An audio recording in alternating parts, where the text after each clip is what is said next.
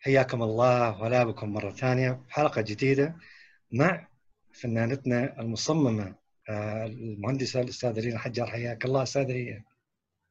أهلا وسهلا بك. كيف حالك؟ الله يسلمك. الله يحفظك ربي. كيف أيامك؟ طيبة إن شاء الله. الحمد لله. الله يسعدك. إحنا من حلقة قبل كذا آه، تعدت علينا آه، تطرفنا شيء بسيط لتجهيزات التصميم اللي هي المسارح.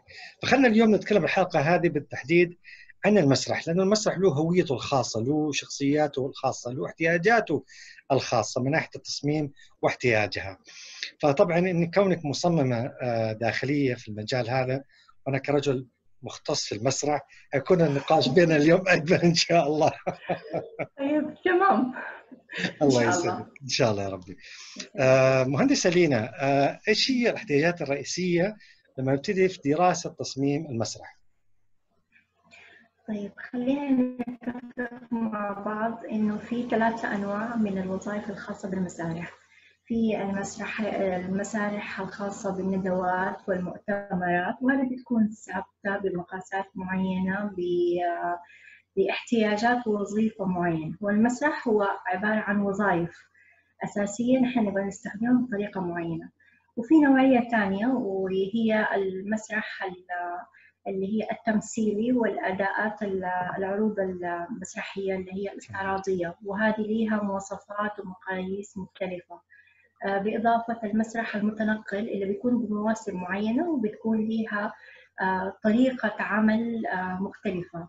وحابة أنوه على شغلة إنه مو كل interior design هو قادر إنه يدخل في هذا المجال.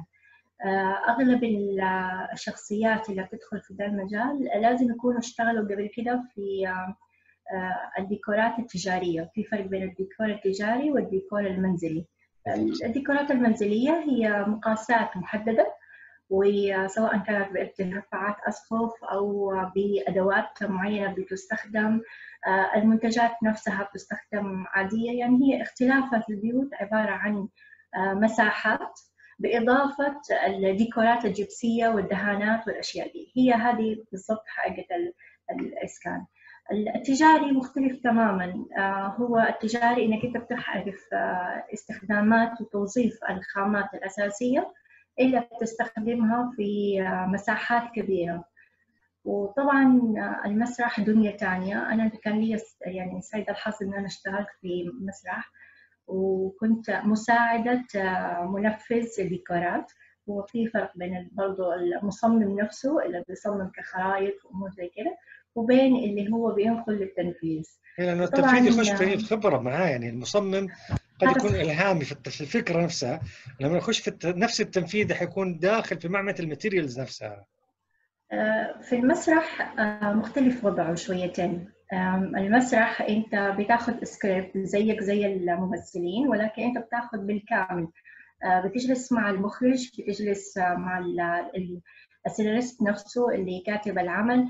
آه، بتجلس مع الأبطال آه، بتدخل في كل التفاصيل. انت عايش معاهم الحكاية بالكامل علشان تقدر تكون ال material المناسبة للخشب آه، للمسرح نفسه للعلو للديكورات. عندنا ديكورات في المسرح كمان آه، أمور ثابتة وفي ديكورات آه، متحركة. وخصوصا لما تكون آه، تمثيلية أو استعراضية ففي فرق بين الاثنين. ما في مسرحية شبه الثانية. ولكن لإكمال العمل وتكفيله صحيح لازم يكونوا كل الديكورات وكل التفاصيل موجودة في قلب الطهاة يعني هو في الطهاة لكل عمل فالمنفذ الديكور والمصمم نفسه آه، هم جزء من هذول الطهاة اللي جوة المطبخ المسرحي نفسه فبالنسبة للمسرح إذا نحن بنتكلم عن الم- المسارح اللي هي التمثيلية والاستعراضية. فبتكون فيها أكثر من جزئية أيوة. في عندنا الستائر آه، عندنا ثلاثة أنواع منها لحظة سواء لحظة مهندسه لينا أنت الحين دخلتي في تفاصيل يعني إحنا عشان بس أيوة. المتابعين يتابعونا. آه، المسرح له جزئيتين إذا ما كنت غلطان خشبة المسرح بتجهيزاتها واحتياجاتها ومكان الجمهور أو الحضور له تجهيزاته الخاصة مضبوط كذا؟ هذا صحيح طيب أجل الحين حنخش على خشبة المسرح آه، إيش. احتياجها؟ طيب نحن لو بس طرقنا أول شيء على الجلوس وبعدين دخلنا في التفاصيل جلوس ال ال الناس عامة هي على حسب المسرحية إذا هو كان اوتدور أو indoor. طبعا خلينا في الداخلي لأنه إذا توافقين رأيي يعني مع رؤية مملكتنا الغالية ل 2030 إن شاء الله اللي هو التركيز على الثقافة والتمثيل الثقافي. فخلنا نركز على التمثيل الداخلي والخارجي أعتقد شيء بسيط نقدر نغطيه انما الداخل هو الأساس لأنه إحنا فعلا بحاجة لمسارح مجهزة ومهيئة للمسرحية الثقافية في السعودية في كل مدنها على مستوى المناطق. يمكن اذا ما خابني الظن في عندنا أشياء معدودة يمكن ثلاثة أربع مسارح نقدر نقول عليها اللي هي جاهزة زي مسرح آه، بكر سالم ومسرح المرحوم طلال مداح في أبها. إنما بقية المسارح يعتبر والمركز الثقافي عفوا اللي في الرياض. آه، غير كذا ما أعتقد عندنا مسارح جاهزه بمعنى كلمة مسرح تمثيلي فني ثقافي مضبوط؟ آه، لا ما عندنا هذا صحيح وحتى هذه المسارح اللي حضرتك ذكرتها هي لم تعاد صيانتها أو استخدامها للتطوير التكنولوجي حقنا. فما زالت تحتاج إن هي تتطور علشان تواكب التقنيات الموجودة سواء كانت الصوتيات سواء كانت نوعية الخامات المستخدمة طبعا أهم شيء في المسرح نفسه لازم يكون الصوت مهم جدا وتوزيع الصوتيات والسماعات في المكان على حسب استوعاب الأشخاص جوه القاعة نفسها.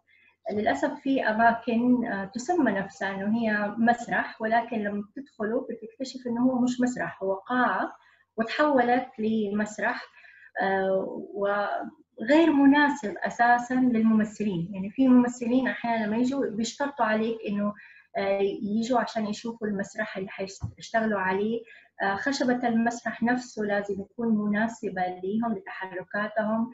آه، طبعا التحرك الداخلي والخارجي آه، إدارة الحشود. فهي تفاصيل كثيرة ولكن مهم جدا إنه تكون آه، نفس المسارح جاهزة للاستوعاب المطلوب. طبعا بتختلف من جزئية لجزئية ومن حاجة لحاجة. من أين تريد أن تبدأ؟ إحنا نقول لو أخذنا خشبة مسرح بتفاصيلها عندك على سبيل المثال إذا ما كنت غلطان عندك التصميم رقم واحد. في عندك أخصائيين للصوت. عندك شيء اسمه مهندس صوتي اللي هو عشان يدرس عملية الصوتيات اللي هو يتماشى مع تنفيذ الديكورات سواء من ناحية الانعكاسات الصوتية أو امتصاص الصوت غير خشبة المسرح اللي هي سماعة المراقبة واللي هي الموتور سبيكر. بعد كذا في عندنا إضاءة. زي ما تفضلتي آه أنت لما تسوي تصميم مسرح أساسا مهندسه لينا لازم يكون عندك تخيل متعدده الاستعمالات. ما حسوي تصميم إضاءة أو صوت لمسرحية معينة بقدر ما تكون تجهيزاتها كلها جاهزة. حسب أي مسرحية تجيني فأنا عندي الاستعدادات اللي هي خلف الكواليس إحنا نسميها إذا ما كنت غلطان اللي هو تجهيزات الكواليس الموجودة فوق خشبة المسرح آه، سهولة تحرك الإضاءة ووحدات التحرك والإضاءة المتحركة والمؤثرات المؤثره عندك الكواليس والستاير تتعدد وتختلف أنواع باختلاف نوعية المسرح قبل هذا كله أعتقد لازم يكون في عامل أساسي اللي هو احتياج مساحة خشبة المسرح، يعني ما أجي أقول مسرحية على سبيل المثال في عندي 20 شخص خشبة مسرح.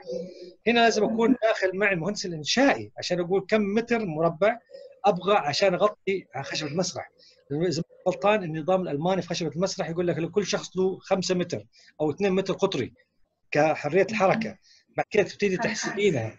5 متر اللي هي القطري إنما الحركة الواحد 2 متر مربع عفوا قطري 2 متر قطري بحيث يكون عنده سهولة الحركة الممثل أو الممثلة خشبة المسرح.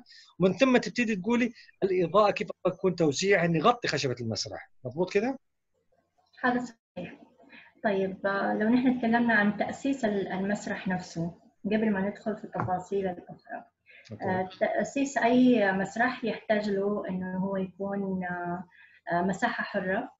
المساحة الحرة بأنه أنت عارف المسرح حقك هو لأي أنواع من الوظائف اللي أنت حتستخدمها. هل هو مؤتمرات؟ آه، فقط. هل أنت تبغى مؤتمرات بكل أنواع الإيفنتات اللي حابب إن هي تطلع على خشبة المسرح؟ آه، هل أنت تبغى آه، مسرحيات صغيرة اللي هي أبو نص ساعة ساعة اللي هي الطلابية أكثر لو تكلمنا عنها أو إنك أنت تبغى فعلا خشبة مسرح تستقبل المسرحيات وبتستقبل العروض المسرحية اللي هي زي حقة الأطفال الأقزام والأمور هذه اللي فيها حركة. إذا نحن نبغى نستخدمها للصف الثاني اللي هو خارج على المسرحيات ونحن عندنا استعراضيات والأمور هذه الاستعراض حتى لو كانت أغنية واحدة يعني هو لازم كمان يكون في مساحة للحركة صحيح. وعلى خشبة المسرح دائما ما بيكون في بس اللي هم أمام الممثلين لا بيكون كمان في ناس خلف الكواليس صحيح. وخلف الكواليس بيكونوا آه، منتشرين جدا وحتى المنفذ الديكور لازم يكون متوفر في آه، أي آه، مسرحية أو أي استعراض لأنه قد إنه يكون في أي عطل قد إنه يكون في أي مشكلة تصير آه، وهو يعرف إيش السكريبت اللي ورا بعض إيش الخلفيات اللي ورا بعض حتيجي فهو مباشرة الموقف زي ما نقول إنه دائما لازم في أي عمل سواء كانت فعاليات أو غيرها لازم يكون في مهندس الصوت ولازم مهندس الإضاءة.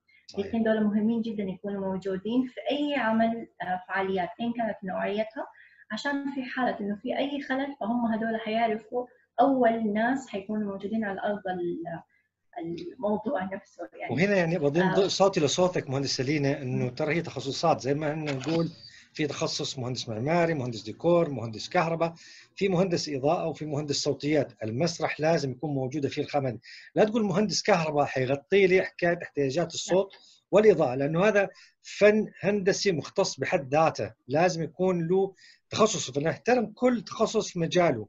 فزي ما تفضلت أعتقد شيء مهم جدا إنه يكون عنده إمكانيات. لكن لو رجعنا للنقطه الأولانية اللي قلتيها مهندسه لينا خلينا نكون منطقيين يعني مستحيل نسوي مسرح فقط للفعاليات ومسرح المحاضرات.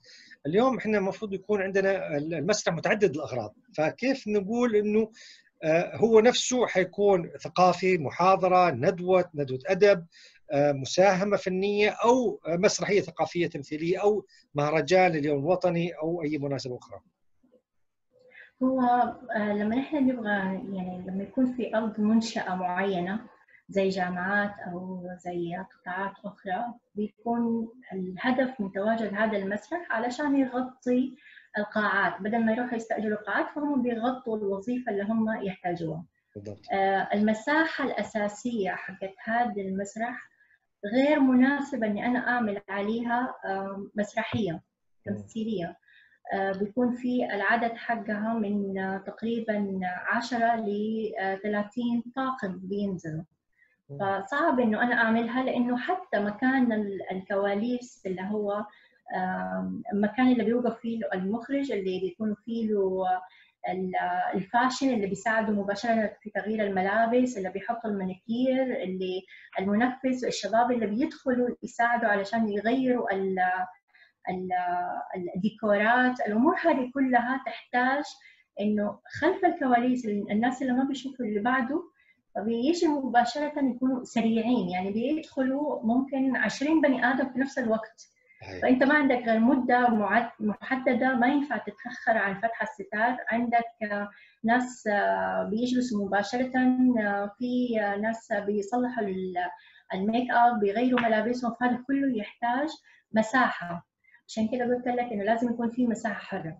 لكن لما أنا أعمل قاعة مؤتمرات والقاعة المؤتمرات فهي تستخدم لكل الفعاليات أساسا. زي القاعات الموجودة في الفنادق أو الجامعات فهذه تستخدم لكل شيء ما عدا المسرحية. لأنه آه، في في المسرحيات آه، تكنيك معين صعب إنك أنت تخرج منه. هذه حاجة. الحاجة الثانية مهندس الكهرباء هو في آه، نوعين من هندسه الكهربائية. المهندس الكهربائي هو المهندس اللي هو نحن بنستخدم بعد ما نخلص الخرائط بالكامل بنعطي له هي علشان يوزع الكهرباء ويعمل توازن ويعمل آه، كم التحميل الأساسي. يعني هذه حاجة داخلة في الإنشائيات أكثر حاجة. لما نحن بنتكلم عن المسرحيات عامة لازم يكون في أخصائي صوتيات هو مهندس صوت يسموه مهندس صوت. هذا بيكون عنده خبرة. لازم يكون عنده خبرة. أقل شيء آه، ثلاث سنوات. آه، هو أشتغل على المسارح يعرف التكنيك الأساسي لأنه آه، قد في أي لحظة تصير عطل قد في أي لحظة يصير في ماس كهربائي فكيف يبغى يغطي؟ لازم يكون كمان عنده حاسب حسابه إنه في plan A وفي plan B إنه مباشرة هو بيشتغل في المواضيع. منفذ الديكور هو بيشتغل على حسب ال scale للقصة نفسها اللي بتجيله. المسرح بيكون مجهز من البداية بس بيجي دور المنفذ انه هو بيختار الديكورات الأساسية ما بين هي ثابتة ومتحركة بيختارها إذا هي تستخدم بخامات. طبعا الخامات الأساسية اللي بتنزل على خشبة المسرح هم ثلاثة أنواع لا رابع لهم اللي هي يا إما يكون منحوتة خشبيات آه، إذا نحن في حالة إنه ما ما حنغير كثير في الديكورات فهي ثابتة. أو إنه هي بتكون آه، برسومات مرسومة بطريقة معينة. وطبعا على خلفيات آه، خاصة بنوع من أنواع الألفيات. وهي هذه بتكون حتى مش بالوان الزيتي والكلام هذا عشان لا حد يستسهل لا هي لها تكنيك معين في موضوع الدهانات آه، بإضافة طبعا اللي هو عبارة عن الفلين ولكن ليس الفلين العادي حق المدارس لا هو نوعية متخصصة للمسارح وهي كمان معالجة على أساس إنه هي آه، كاتمة للصوت. يعني بتساعد إنه هي تكتم الصدى اللي موجود يكون على نفس مع تواجد ناس كثير ومع موبايلات ومع أمور وهذه المواضيع. فهي تمتص هي من الأنواع اللي هي تمتص برضو آه، موضوع الصوت والضجيج اللي بيصير. اللي هو ال acoustical panel تسمى اللي هو الكلمة الفنية. الالواح الماصة للصوت بس إذا ما كنت غلطان مهندسه لينا آه، من من دراسات المسرح برضو لازم يكون في عندك نسبة من امتصاص الصوت نسبة من انعكاس الصوت. ما تقدر تمتصين الصوت كله. على سبيل المثال إذا كنت القاعه بسويها خشب فيمكن المفروض يكون فيها نوع من التخريم اللي هو perforated اللي هو بال silk screen. بالليزر يكون حفره ويكون وراها مادة ماصة للصوت عشان الصوت نسبة منه يخش وما ينعكس ونسبة ثانية تبغى تعكس فيها صح؟ هذا صحيح. ما هو لازم في انعكاسيات. آه مهندس لينا نكمل حوارنا لأنه صار في شوية تشويش علينا. آه إحنا نحن كنا نتكلم بو اللي هو لما نجي نصمم آه من ناحية الصوتيات تحديدا آه في المسارح الكبيرة اللي هو يكون مين بشكل رئيسي اللي هو السقف على الأرض أعلى من 9 متر. فالفكرة الأساسية إنك تحطي الواجهة الأمامية كلها خشب والخشب ما هو خشب panel عادي MDF لا يكون خشب مثقب اللي هو يسموه micro perforated الفكرة من هذا الشيء إنه في عندك نسبة من الصوت لازم يرتد نسبة ثانية لازم ما يكون مسحوب منه. فلما يجي الخشب عندك آه، عليه grooving لتفريغ ومن وراء المخرم شيء بسيط جدا عشان كذا نسميه micro perforated الصوت يخش وما يرجع. فأنت المفروض يكون عندك طريقتين إنه عندك نسبة تقريبا حوالي 70% من الصوت يرجع على القاع والنسبة الثانية 50% يخش ما يطلع. عشان كذا في عندك حوالي 5 سم بين ألواح الخشب وبين اللي هو الصوف الصخري اللي خلفه عشان ما ينعكس. بالطريقة هذه إن شاء الله يكون آه، في دراسة صوت أفضل. عشان كذا نقول المسرح لازم يكون له تخصصات. يعني مهندس الديكور مهندس آه، صوتيات مهندس آه، دراسة صوتيات مهندس إضاءة. النقطة الثانية نحاول نخش فيها عشان ما نتوه الناس لأنه في كثير ناس يمكن ما يكون عندهم خبر تقني كثير عن ناحية الصوتيات. خلينا نخش بالتصميم. حتى الإضاءة زي في الرأي آه، في عندك المجسمات في عندك الأشياء المؤثرة. آه، خشبة المسرح آه، يعني إحنا دائما نعتبرها لما نسوي دراسة مسرح بالذات لقاعات كبيرة نعتبرها منطقة حظرة ليه؟ بسبب إنه عندك كمية أسلاك وأشياء والكواليس والإضاءة والتجهيزات ووزنها. الاشياء شيء ثقيل. فلما يجي الزائر يطالع يقول لك آه يا عطنا خشبة مسرح وخلاص. لا إذا تبغى خشبة مسرح على مستوى يليق بالثقافة المسرحية يجب أن يكون جاهز من كل تجهيزاته سواء من ناحية تصميمية سواء من ناحية صوتيات أو من ناحية إضاءة. طبعا أول حاجة نسويها زي ما تفضلت اللي هو دراسة حيز المسرح نفسه. فالمفروض تكون دراستنا كمهندسين مع اللي بيستثمر يسوي مسرح من البداية. لما يجي يقول هذه أرض بسوي مسرح. هنا يخش التخصصات معاه. ما يجي يقول حط المهندس الانشائي والمعماري والكهرباء يقول لهم يلا تعالوا معي طلعوا تصميم. لا لازم يكون معاهم فريق خاص في المسارح وهذا الشيء اللي نحصله في كل دول العالم اللي عندها مسارح قيمة. وبإذن الله هذا يكون آه، رسالتنا آه، لوطننا الغالي. اللي عنده مسرح بيسويه يروح لتوجهات تخصصات. يعني في عندك مكاتب استشارية خاصة سواء في السعودية أو خارج السعودية متخصصة في المسارح لتصميمها حسب الحاجة تبغاها. الحاجة الثانية أعتقد توافقني الرأي لما تيجي في الكواليس وهي شيء جدا مهم. في عندك نسبة عالية جدا من اللي هي الأشياء المتحركة الكهربائية أو الميكانيكية. فاليوم مع التقنية زي ما تفضلت بداية حوارنا المهندسة لينا التقنية ما هو والله أمسك السيارة بيدي وأقفلها وأفتحها لا. لازم يكون لها محركات كهربائية عشان تعمل دراسة الحسبان إنه قديش لازم يكون وزنها إيش المجسمات اللي حشيلها غير كذا في عندك طبعا اللي هي وزنية الأثقال اللي حتشيليها لما نجي إحنا في دراسة المسرح تحديدا نقول لهم إيش تبغوا تحطوا في المسرح؟ هل عندك عدد الأشخاص رقم واحد؟ هل عندك خلف الكواليس؟ زي ما تفضل هو التجهيزات سواء من ممثلين وممثلات سواء غرف المكياج سواء غرف تغيير تجهيزات الملابس. بعدين عندك غرفة التحكم. دائما في المسرح اللي فوق الألف كرسي تحديدا يكون عندك مكانين للتحكم. مكان على خشبة مسرح أو خلف الكواليس والمكان الثاني خلف الجمهور اللي هو في المدرجات.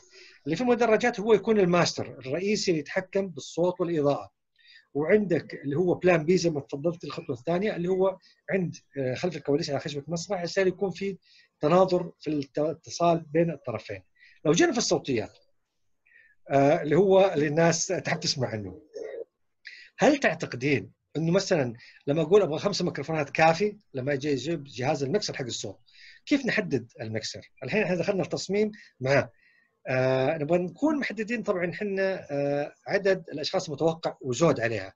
لما أقول أنا عندي آه مسرح أبغى في عندي 10 ضيوف. خلي عندك على الأقل 20% زيادة. ليه؟ لأنه قد يحتاجها. لما نجي في الكراسي موضوع ثاني نرجع في عشان نرجع للموضوع هنا في التصميم. الكراسي في المسارح أعتقد المفروض يكون من القماش إذا توافقيني الرأي. صحيح. دحين لما انت تبغى تتكلم عن المسرح أي مسرح في الكون لازم أول شيء بس أنا حزيد حتى على حكاية إنه أنا لما أنشأ المسرح نفسه. لما أنشأ المسرح لازم إنه يكون في بالي مش الكوست رقم واحد كم التكلفة المالية اللي حتكلفني لا أنت لازم تطل أول شيء لمساحة الأرض. وما بيكون بس المسرح هو الأساسي لا هو بيكون كمان في إدارة الأمن والسلامة لازم نكون حاسبين كف الحركة سواء كانت الجمهور لما يخرجوا أفواج مع بعض أو لما يكون في الممثلين والخلف الكواليس طبعا ليهم مخرجين أقل حاجة بيكونوا وبيكون في إرتفاعات للمسرح في زي ما تفضلت بيكون في نقطة أساسية لخلف المدرجات. بتكون في استوديو هناك. أوقات المخرج والمساعد بيكونوا متناوبين ما بين إنهم هم خلف الكواليس في خشبة المسرح وما بين ما هم يكونوا في محل الكنترول الأساسي اللي هم بيشوفوا كل المساحة بالكامل. في بيكون كاميرات طول الوقت على كل الأماكن بالكامل عارفين كيف المداخل حقتها علشان في حالة إذا في أي طوارئ بيكونوا مستخدمين. إحنا عندنا حتة مهمة إنه لازم يكون في أمن وسلامة ولازم يكون هذه التخصصات فعلا تخصصات حقيقية متوفرة على أرض المكان وليست إنه مقاول.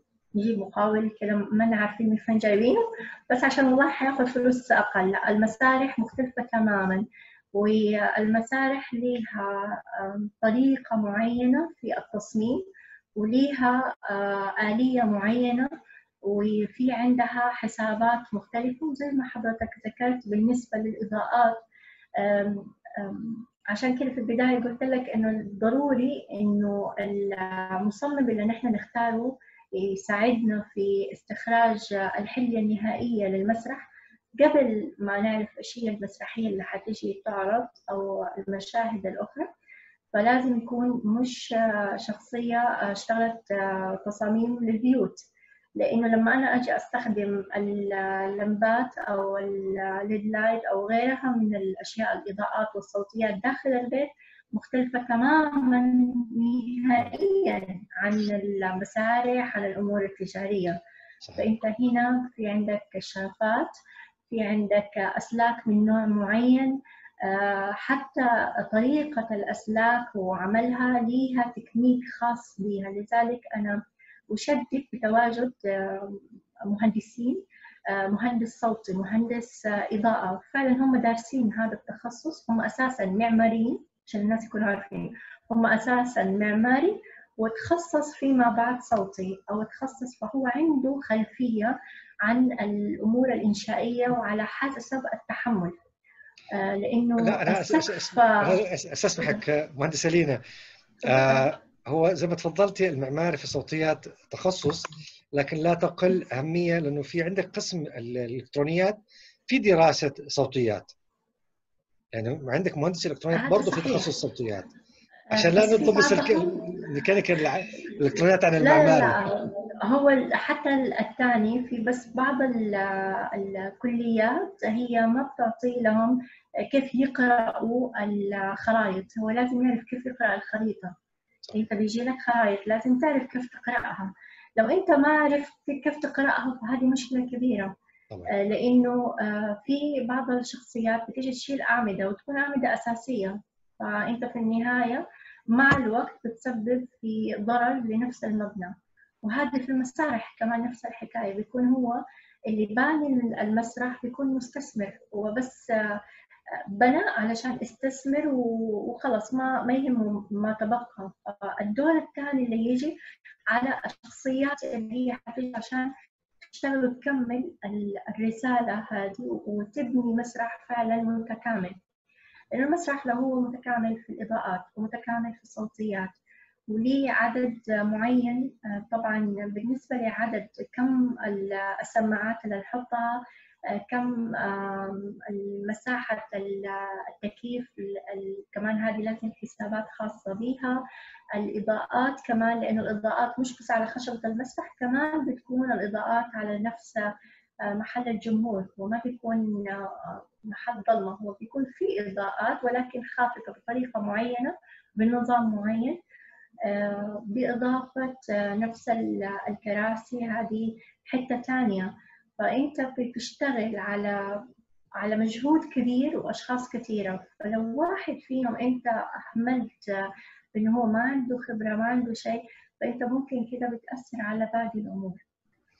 أجل ما شاء الله يعني زي ما تفضلتي مهندسة لينا المسرح له تخصصات وهذا شيء أكيد موجود في العالم كله وبإذن الله نشوفه برضه في مشاريعنا اللي موجودة عندنا في بلادنا الغالية الموضوع الثاني الشبيه بس أقل منه شوية أعتقد اللي هو المسرح آه، أو السينما آه، العامة صالات دور عرض السينما هي لا تقل أهمية آه، لكن ما هي بنفس الدراسات أعتقد توافقين الرأي زي المسرح. خلينا نتكلم عن صالات دور عرض السينما. هل احتياجاتها يتماشى أو يتمثل مثل احتياجات دراسات اللي موجودة في قاعات المسرح الثقافية؟ آه لا بتكون أخف السينما هي معتمدة على السماعات هذه رقم واحد. آه اللي هو المهندس الصوت إنه يكون متواجد وإنه هو آه عامل تكنيك معين على حسب المساحة وعلى عدد كم بيكون آه، متواجد من المشاهدين. إذا كانت آه، نفس السينما القاعة بتكون ما بين 100 ل 500 غير لما يكونوا 1000 غير لما يكونوا درجات مختلفة. ففي مختلف الموضوع. في بعض المسارح آه، عفوا في بعض السينمات خارج السعودية بتكون عبارة عن مدرجات آه، سينمائية بطريقة معينة. آه، هذه لها تكنيك مختلف تماما على المتوفرة. طبعا هي لسه ما دخلت عندنا في السعودية نحن لسه صغيرة الحجم اللي عندنا. آه، ولكن نامل انه في الأيام القادمة بإذن الله تتوفر زي كذا. هي قاعات كاملة تكون سينمائية بحتة وبيكون داخل فيها ال digital آه، يمكن السينما الدخول ال technique ال digital والأمور هذه آه، تتحكم كمان في الكراسي. عندك الكراسي بتكون متحركة على حسب المؤثرات الصوتية على حسب المشاهدة نفس الفيلم فأنت مباشرة بتكون متواجد في نفس الحدث معاهم بإضافة إنه في بعض الشاشات هذه أنا شفتها برا آه، بتكون مش شاشات مستطيلة لا هي بتكون شبه حلزونية آه، أنت جالس في قلب السينما نفسها يعني كأنك أنت بتمثل مع الممثلين شخصيا أعتقد هذه آه، اسمها البانوراما سكرين مضبوط؟ هذا صحيح. بس أنا ماني عارفة أتذكر. ف هو زي ما لا، تفضلتي مهندسه لينا ال- ال- السينما آه، عالم ثاني من آه، دراسات لأنه تقريبا وصلنا لغاية ال 7 دي 7 دي اللي هي المؤثرات السبعة اللي هي حاسة ال- النظر السمع الملمس التذوق الشم آه، تجيك رذاذ الموية الكراسي تهتز مع المؤثرات الصوتية يكون تحت الأرضية مرتبطه الكراسي قاعدة الكراسي عفوا بالنظام الصوتي فلما يكون في عندك ال- التردد العالي أو البيس موجود في السماعات تجي على الكراسي تتهزز فيها. فصح كلام حضرتك مضبوط وهذا شفناه وعشناه وإن شاء الله نشوفه قريبا. هو أساسا أعتقد هي بسبب آه، التقنية العالية الموجودة في السينمات الكبيرة. آه، يمكن ما جت لأنه حتى في أوروبا وفي أمريكا وفي كندا محدود عدد السينمات الموجودة فيها 7 دي. إنما الموجودات السينمات هي العامة اللي مطلوب لأنه هذا استثمار غ... يعني ثمنه غالي على فكرة. أنت جالس تتكلم هذا قاعه صحيح. ما كنت غلطان من مليون و500 ل 2 مليون كل قاعة. غير طبعا تجهيزاتها. اللي ما يعرفوا إنه اللي يفوت السينما العادية آه، يوم ما تفوتي على قاعة صار دور العرض السينما كله digital. بمعنى آخر ما في إنسان موجود فيها لأنه هي صارت مركزية. عندك غرفة عمليات أو غرفة تحكم شخص واحد موجود preset في قاعة ما في ناس مش عارف إيش الفيلم اشتغل. يعني يقول لك الفيلم الساعة 7 الفيلم الساعة 7 اشتغل وانتهت. فهي كلها صارت عاد برمجة رقمية. آه، طبعا عندك ال Dolby وال Dolby آه، Atmos آه، اللي هو سماعات سقفية وجدارية مؤثرات صوتية جدا عالية زي ما تفضلتي. عشان لا نعقد إخواننا واخواتنا المشاهدين خلينا ناخذ قدوة ثانية أقل. السينما المنزلية زي اللي إحنا جالسين فيها. أوكي. إيش احتياجاتها؟ آه، أعزل صوت. ويكون عندك آه، كراسي مريحة جدا بالنسبة لك. آه، بالضبط زي اللي أنت جالس عليه. آه، بإضافة إنه بتكون الشاشة بالنسبة لك ملائمة لمساحة الغرفة. بإضافة الإضاءة الخافتة الديكورات والأمور البسيطة هذه حسب الذوق لكل شخص مختلف عن الثاني. فهي ما فيها تعقيدات بس إنك أنت تعتمد إنه كيف إنك أنت تعمل عازل صوت مناسب لل- لمساحة الغرفة نفسها يعني حاجاتها بالمرة بسيطة ممكن أي جداً. أحد يسويها في بيته بالضبط عشان. كذا هي سموها سينما منزلية يعني أي واحد طبيعي يروح لأي مكان. إلكترونيات يجيب التجهيزات حاجة من الإنترنت يخلصها لكن اللي يتخيل إنه يسوي سينمته في البيت مستحيل يسوي نفس الفكرة سينمته في ال- في العامة في المناطق العامة والمحلات التجارية أو على المسرح. آه، مهندسه لينا أبغى أتشكرك وبستأذنك هل ممكن لو احد بتواصل معك لاستشارات هندسية في مجال بالذات آه، المسرح لأنه هو مع الرؤية اللي إحنا فيها إن شاء الله لأنه السينما عارفين تيجي تصميم خالص اللهم المقاول المحلي ينفذها زي ما هي ما في ابتكارات هل يتواصلون معك آه، عندك أحد؟ آه، يعني تقدر تدعميهم بشيء زي كذا؟ إحنا ما نقول طبعا ممكن- مجاني بس بنكون على تواصل معك ما في مشكلة. أهلا وسهلا في الجميع. بالعكس. الله يسلمك. أجل إن ممكن شاء الله. يتواصلوا علي بالإنستغرام ففيها كل التفاصيل. بإذن الله. أجل إحنا برضو دائما نقول على الرابط نحط آه، حساب ضيوفنا ومنهم طبعا المهندسة لينا حجاه حياك الله وشرفتينا ونورتينا. وشكرا لفنك. وشكرا لمواهبك وهندستك وعلمك وثقافتك وإن شاء الله يكون لنا قراءات ثانية مرة ثانية ونستفيد من خبرتك في مجالنا. الله يسعدك الله يسعدك. مع السلامة.